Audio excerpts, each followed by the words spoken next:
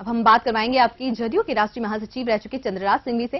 चंद्रराज जी बहुत बहुत स्वागत है आपका जन टीवी में। आपने जदयू से इस्तीफा दे दिया है। क्या कुछ आपकी विचारधारा उन जदयू से अलग हो गई कि आपको इस्तीफा देने की नौबता पड़ी? मैंने इस्तीफा नहीं दिया मैडम। जी। मैंने तो लिखा है कि मैं जदयू का सदस्य बना रहूँगा।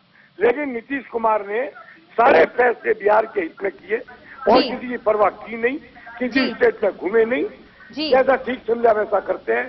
ताना सही रवैया है। गठबंधन को तोड़ दिया। देश में किसी को पूछा नहीं। बिहार इसकी राजनीति करते हैं।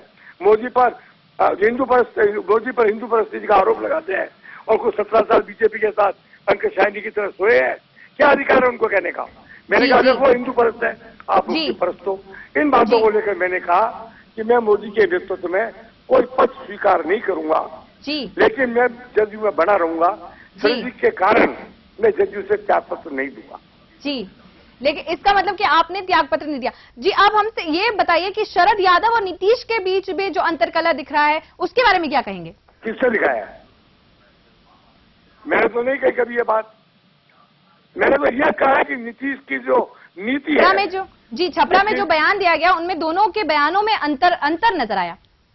कौन से प्रश्न में आप आप एक बार वापस पूछिए मुझसे पर। हेलो? जी नीतीश कह रहे हैं कि शरद यादव ने कहा है कि रिपोर्ट आने के बाद पता चलेगा छपरा का जो मामला था उसी पर दोनों के बयानों में अंतर दिखा। बोलते हैं। शरद जी। राजनीति करते नहीं है। जी। शरद एक अलग चरित्र के आदमी है। वो पूरे देश को एक्सेप्टेबल है। नीतीश कुमार आजकल अपने आप को केवल बिहार का क्षेत्रीय नेता पाते हैं। वो भी भाजपा की मेहरबानी से। इससे बोलते रहते हैं।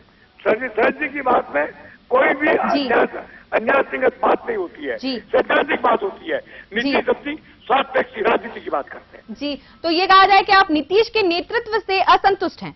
बिल्कुल असंतुष्ट हूँ। जी। हाँ। जी बहुत बहुत धन्यवाद। चंद्रराज सिंह भी हमारे साथ जुड़े थे उनका कहना था कि मैंने इस्तीफा नहीं दिया है लेकिन नीतीश का जो तानाशाही रवैया है उसको देखकर मैं जदयू से अलग नहीं होना चाहता लेकिन फिर भी नीतीश का जो नेतृत्व है उससे मैं असंतुष्ट हूँ। बिहार में भाजपा जदयू के गठबंधन की टूटी, राजनेताओं के दल बदल और जोड़ तोड़ की राजनीति भी शुरू हो गई है। बिहार की तीनों प्रमुख दल, भाजपा, राजद और जदयू, एक दूसरे के नेताओं के, उनकी पार्टी में आने की बेकरारी को खुलकर बता रहे हैं। राजद विधायक सम्राट चौधरी ने कहा कि जेडीयू के लगभग 40 से 50 विधायक राजद सुप्रीमो लालू यादव और कई वरिष्ठ नेताओं के संपर्क में हैं। उन्होंने कहा कि समय आने पर सभी लोगों के नाम का ऐलान कर दिया जाएगा।